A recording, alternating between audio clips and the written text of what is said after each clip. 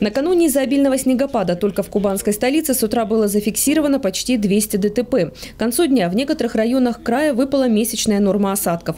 Главам муниципалитетов, где разбушевалась стихия, губернатор поручил перейти на круглосуточный режим работы. Все коммунальные службы должны быть переведены в экстренный режим. Обращаюсь к главам муниципальных образований, э, разворачивайте оперативные штабы, приходите на круглосуточный формат работы, а, задействуйте все резервы, подключайте людей. Напоминаю, что в первую очередь внимание должно быть сосредоточено на обеспечение транспортной доступности к социальным объектам, это больницы, школы, а, детские сады. А, Расчищены должны быть не только дороги, но и тротуары. Об этом тоже прошу не забывать.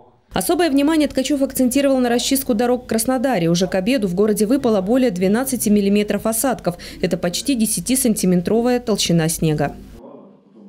Отдельно хочу обратиться к городу Краснодару. Уже э, ночью было понятно, что из-за снегопада ситуация утром будет не из легких. Понимаю, что вы сделали все, что могли. Максимальное количество техники было а, на улицах, но мы видим, что этого недостаточно. А, люди жалуются, по-прежнему жалуются на состояние дорог, тротуаров. Поэтому обращаю ваше внимание, надо не только следить за чисткой центральных улиц, но а, и периферийных. А, районов, спальных районов, где живет большинство а, жителей а, нашей столицы. Поэтому все внимание сосредоточить нужно туда. Тем более, что снег будет идти с такой же интенсивностью не только сегодня, но и завтра до обеда. Поэтому мы уже сегодня привлечем э, для уборки снега в Краснодар технику из других муниципалитетов для того, чтобы эту работу проводить более эффективнее. По словам главы города Владимира Евланова, в первую очередь коммунальщики сейчас расчищают дороги для общественного транспорта.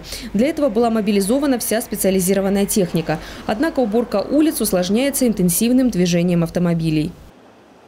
Всего привлечено было техники 73 э, единицы, она и сейчас работает в городе на доработке всех э, дорог. Э, по очистке тротуаров привлекалось более тысячи человек профессиональных работников нашего предприятия по уборке города и 27 единиц техники на тротуарах. На ночь мы планируем массированную уборку города с привлечением э, всего количества техники, которая есть. Но в отсутствие снега, безусловно, город будет зачищен э, полностью.